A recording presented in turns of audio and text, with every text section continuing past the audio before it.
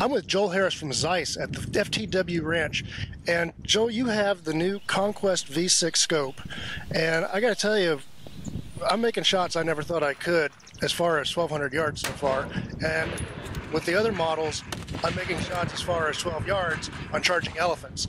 So tell me what, what you have in store for SCI members now.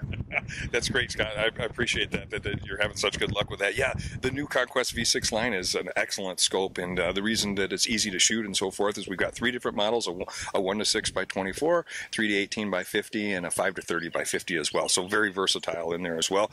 FL lenses on the front end. You know that beautiful color that you see and no color fringing and all that stuff. That's what that does there. Separates colors as well, so you see brown antlers against brown marsh grass. T-star coatings make it bright and sharp, and then our LotuTec lenses keep that lens impervious to dirt and water. It won't beat up. You can just simply knock it and it'll come off or blow it and off it off it goes. So the whole line is just packed full of features and benefits, Scott. I mean, really, it's almost like a victory scope with these products that we have in here. You know, these are all like victory type products. So you know, it's a great value.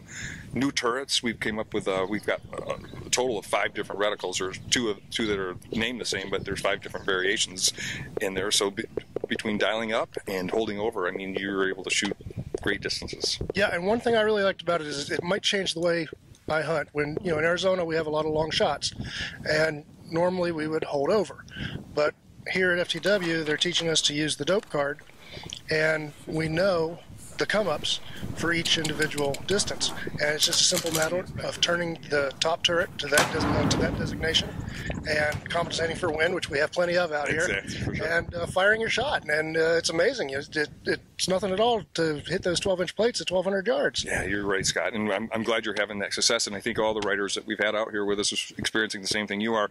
And a lot of it has to do with the redesign of our ocular, too. A great eye box, so you get on target really quick.